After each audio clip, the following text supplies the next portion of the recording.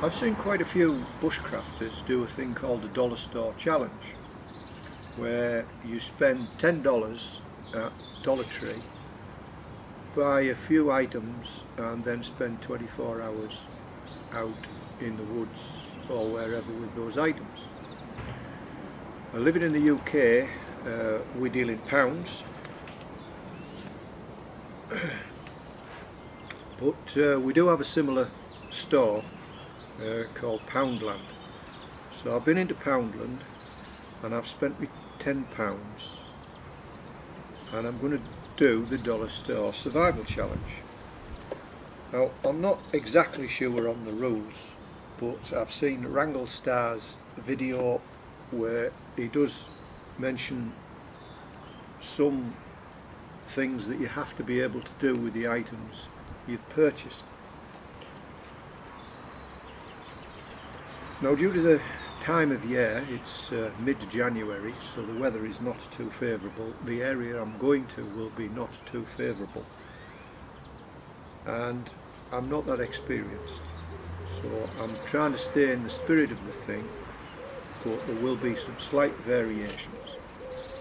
Anyway, number one on the list was water. Now I know I'm going to find water where I'm going, but I also wanted the plastic bottles. So I know I've got three litres of clean water. So apart from the weight, uh, that was one thing I considered uh, worthy. I really struggled with something to cook in and this isn't ideal but it was the only thing I could come up with for a pound which is a baking tray so I'll be able to use that to cook to cook in.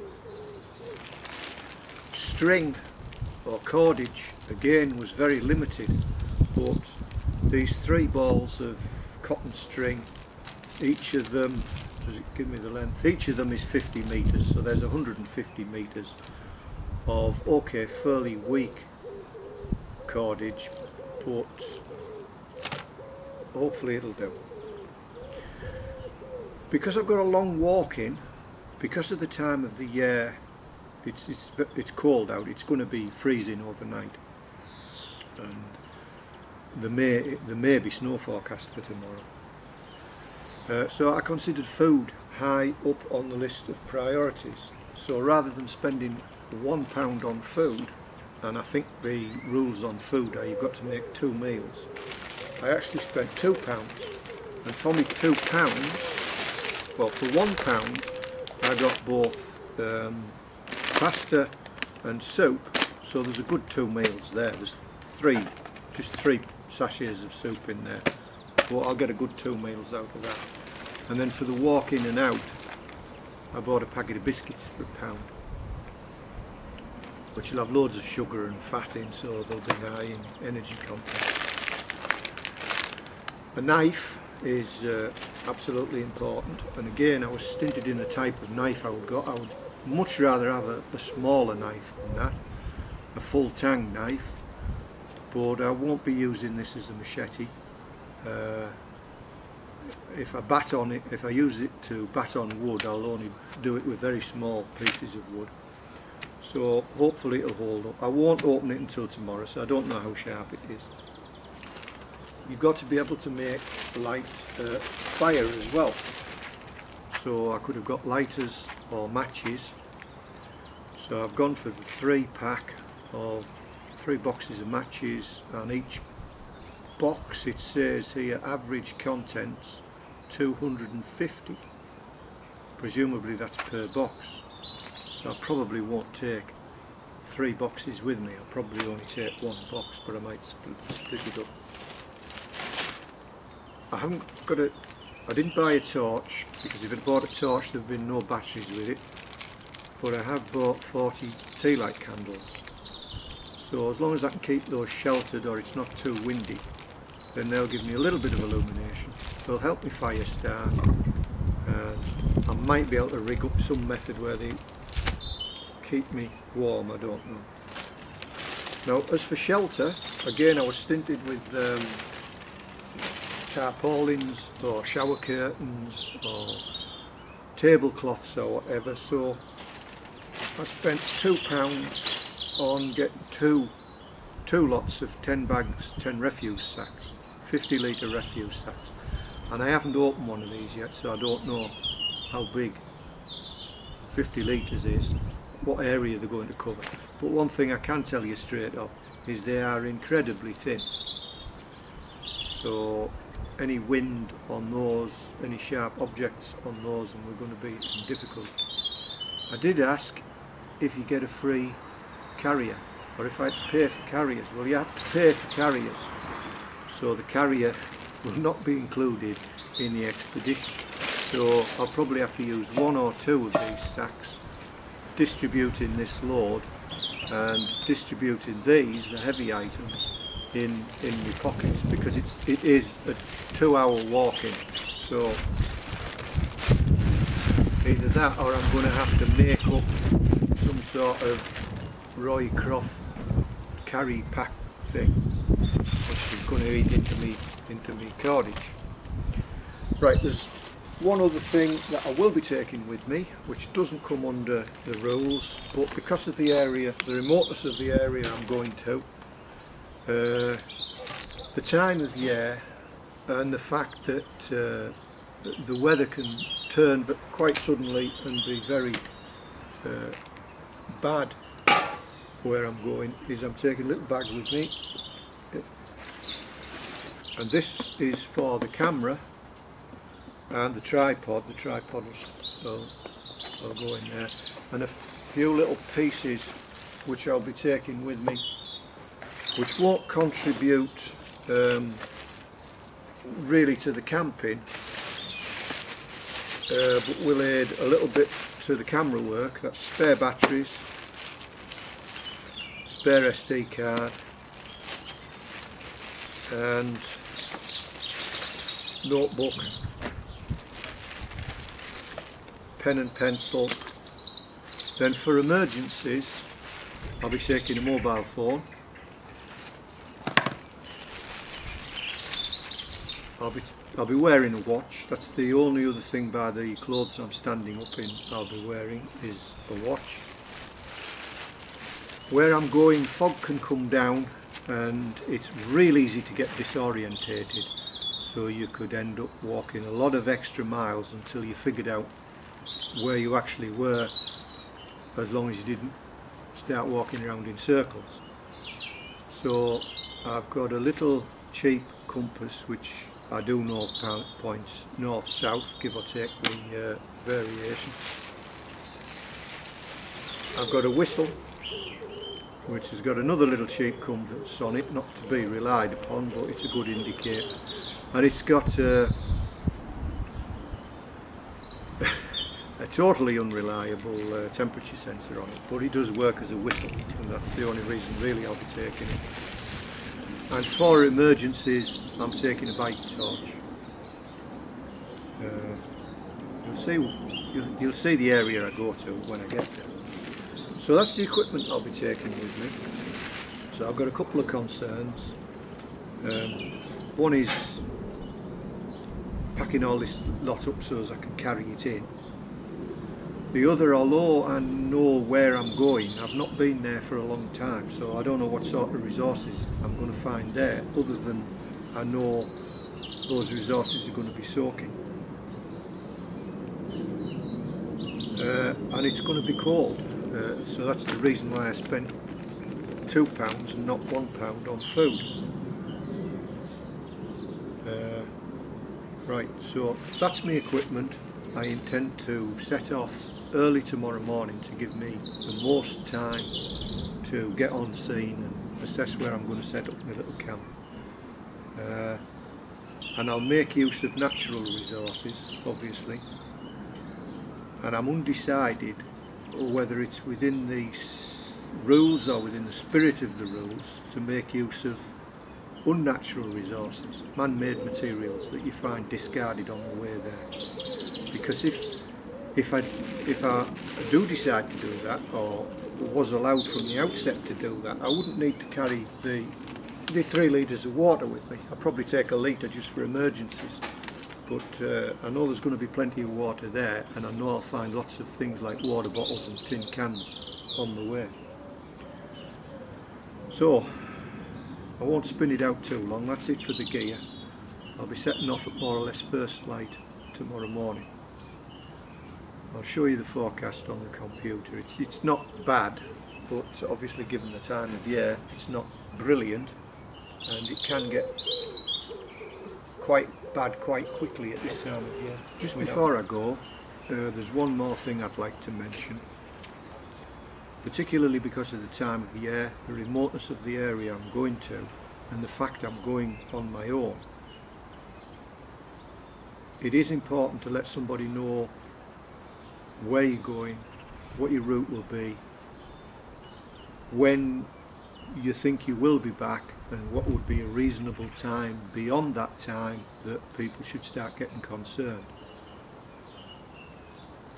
It's, it's easy to think everything will go according to plan, uh, but it's, it's very, very easy for things to go badly wrong.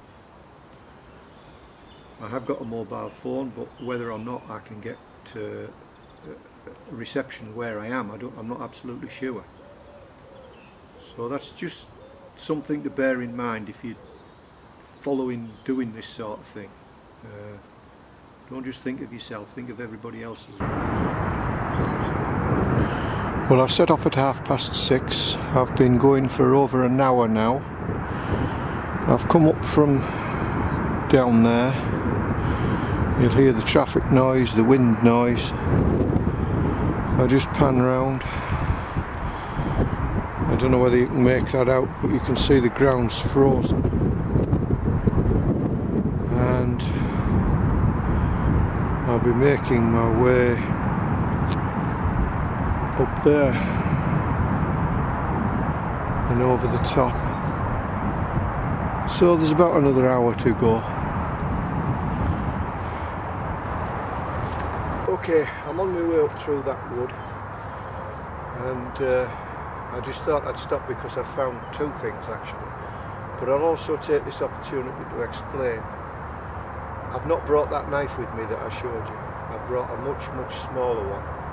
Due to the area I'm in and the UK knife laws, I really had to bring something that was legal in all the situations I might be travelling through or find myself. So I've ditched the really big one and just brought this small knife so that's going to hamper things a bit. But it is what it is and we'll make do. Uh, the pack to carry my stuff up, or a lot of the stuff, a lot of the water bottles, I didn't bring all of them, I've got them in my pockets, in my pockets and pockets basically. I built this little bag out of the polythene bags. Uh, so hopefully I can recover all these polythene bags and use them. So me food and me cooking and me candles and stuff that's all anyway the reason we've stopped here is because of this tree here. And I don't know my trees too well. That's something I've got to uh, do a bit more work on uh, but I know this is an ash tree it's a dead ash tree. It's in a dangerous uh, condition. It's gonna it's gonna drop down any time soon. But on the ash tree is one of the most useful firelighting funguses because it's useful straight off the tree, and that's one I've mentioned before.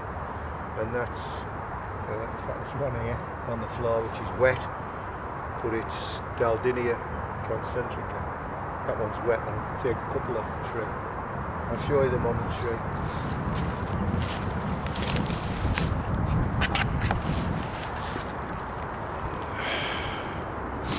That's how dangerous that tree is.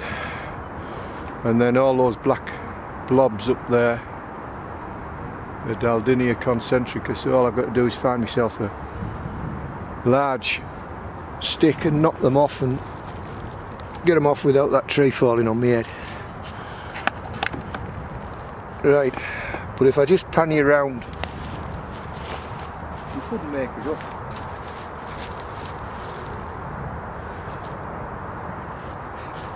that lying on the floor. Now, I'm not saying it's much use, but it'd be better than a, some of them fancy shells that you see them using on desert island bogies. Do I take it or do I leave it? Found in the woods. If it's a survival situation, I would definitely take it. Because it's probably useful for all sorts of things. Anyway, let's see. See if it's any good.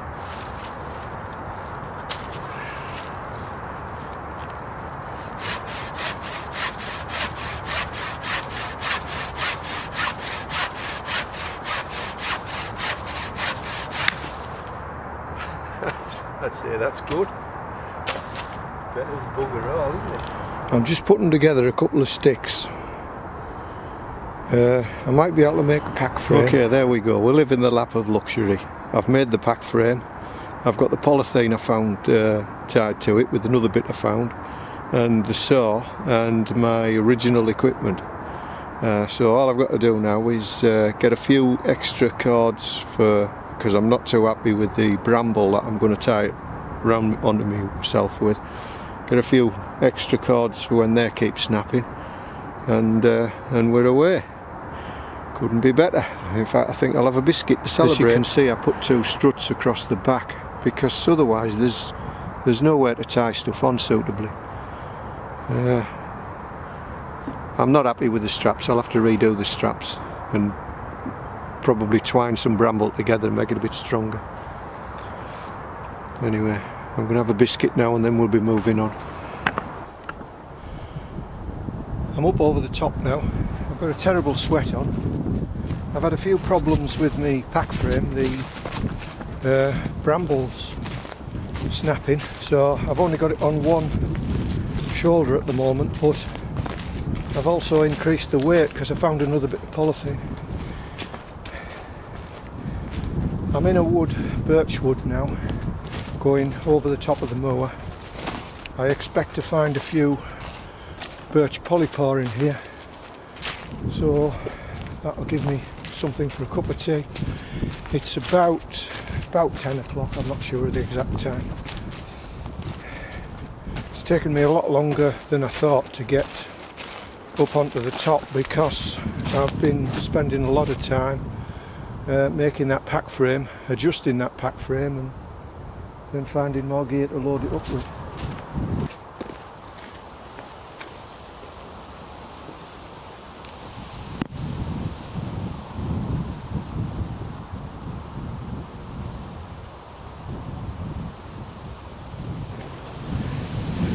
Okay, it's getting a little excessive in the bogginess now. Uh, I might, this pack frame's getting hung up on stuff.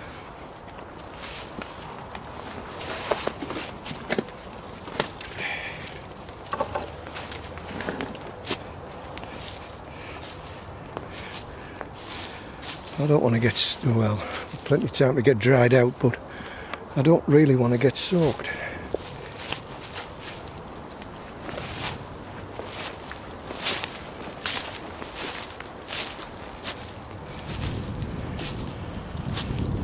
plastic bottle in there. I don't think we'll be getting that. I don't think we'll trust this bridge either. Want to be going for a swim and I don't want to take this camera for a swim either. Uh,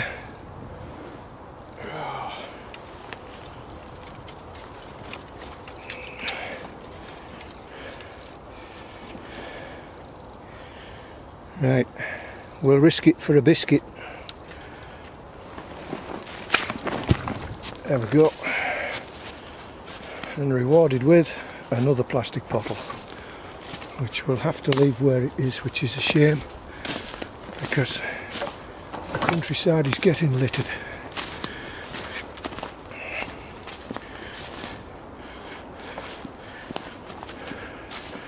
Okay, I better shut down now because I won't have that much battery power.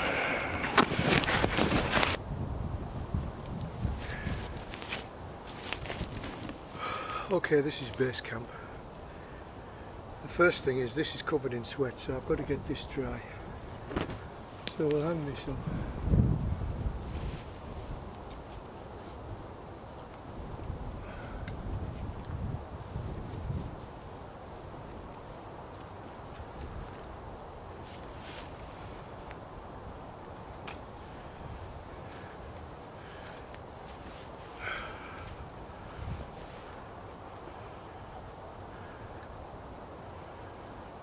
It's not a very good place for a fire this.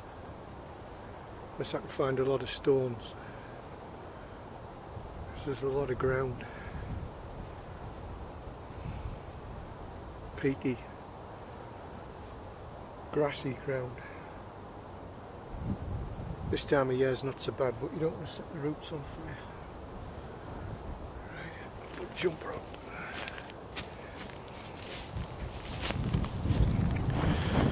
Well it's 12 o'clock now and that's the frame done. Well, almost done. I've got a few bits there to snap off. It's just like a, just like a V uh, triangle.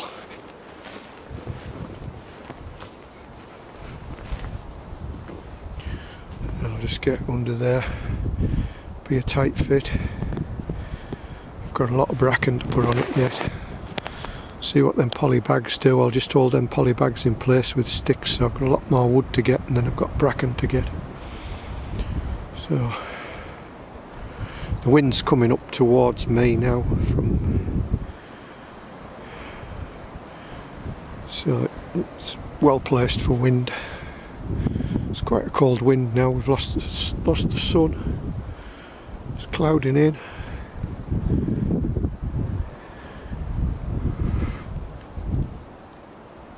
t-shirt will be frozen dry.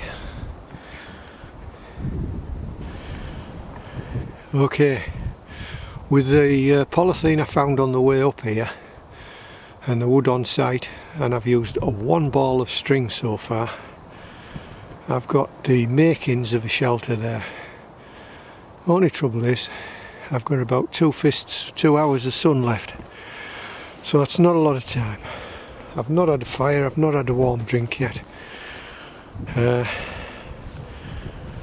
you can see there's a wind whipping up here, uh, so I'm waiting all this side down with um, branches, so I've got to go and get some more branches yet. And I think I know, might know where there's a bit of metal.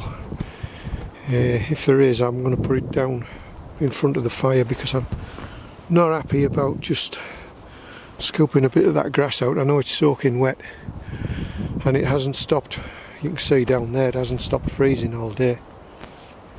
Uh, so I best get a move on. I'm actually in the shelter. This is in front of the shelter. Uh, I'm not happy about the fire being on that ground but I do need a hot meal so I'm going to get at least one hot meal in me and then put it out I've got a bit of bracken in the shelter I've got the polythene bags on the floor and uh, I'll probably be cold but uh, I am sheltered from the wind. One thing I forgot to mention, I didn't notice when I bought it, the water is strawberry flavoured. I should have spotted that but uh, I'll just have to put up with it now. Another thing, uh, I never washed that tin out before I used it so probably coated with some oil but I'm not wasting my dinner now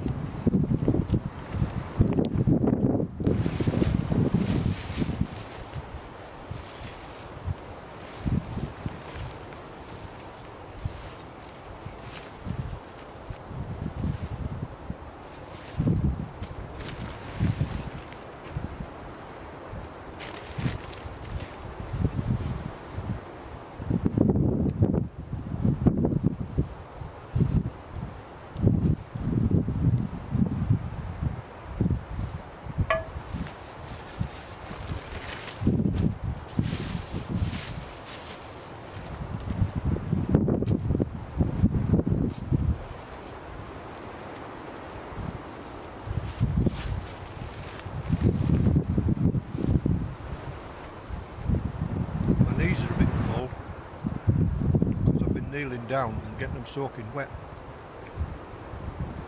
But that, out of, out of the wind here it's not so bad. But other side of the shelter, if I stand either side, there's a severe wind chill.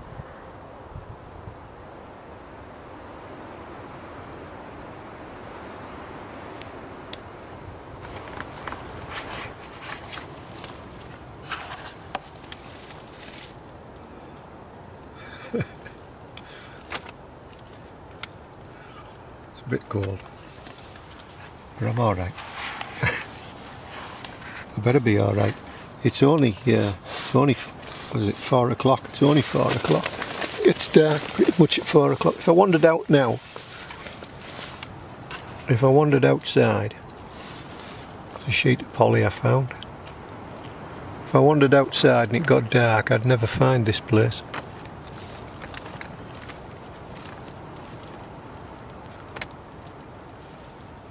Anyway, I was just having a test. I might, I might have a bit wander, get a few more materials and get a bit of wood to jam that corner from flapping.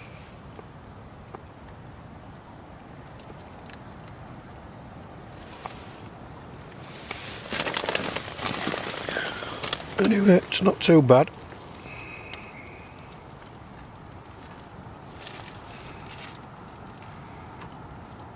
Shame the ground wasn't a bit firmer because I don't I won't leave a fire out there because it'll go into the ground. I know it's soaking wet and it's middle of winter but it still doesn't look good. It's bloody freezing so what I'm trying to do is I've got the tea lights in my baking dish and I'm trying to warm up two of those water bottles so I might get two hot water bottles. Well, my water bottle warmer is working, but uh, there's certainly no chance of scalding myself. I've realised why my feet are so cold, and that's because my socks are damp. So I'm trying to get my socks dried out one at a time, and my feet, and then they'll be a bit drier. And then hopefully I might get some sleep sometime tonight.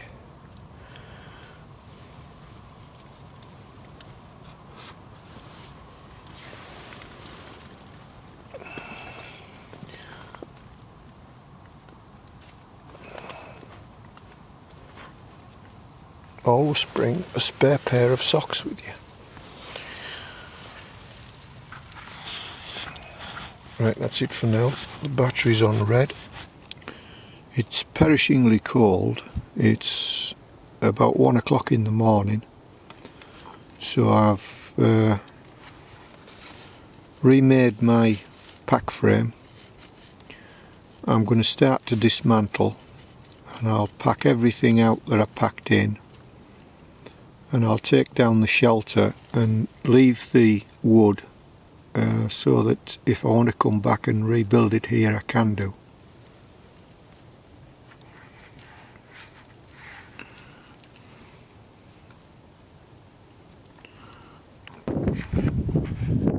It's about two o'clock in the morning. I'm on my way back. I'm coming over the top of the hill, going down there somewhere. It's quite a spectacular view. it's focusing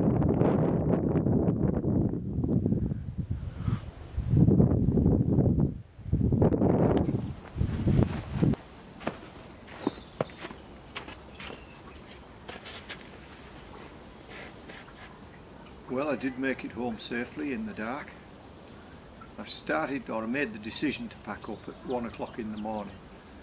And by the time I'd dismantled everything and packed up all the rubbish and tarpaulins. I got home about half past three. So that gave me three hours short of the 24 hours. So technically I suppose I failed.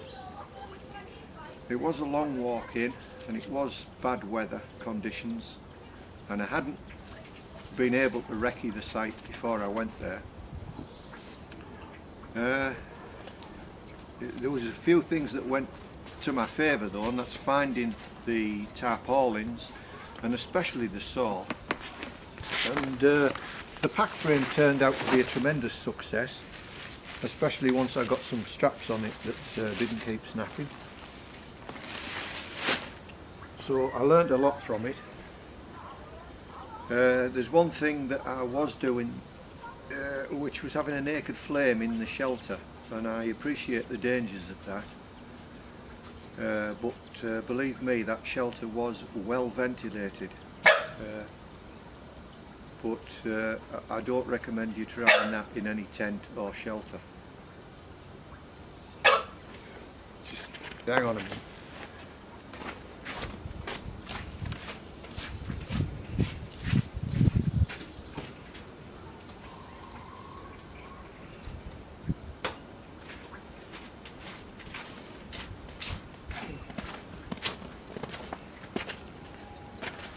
couple other little issues I'm aware of is the sound quality and probably the videoing quality as well especially with the limitations with my uh, camera lens angles. But uh, some things we're just going to have to live with for now. So thanks for watching and I'll see you next time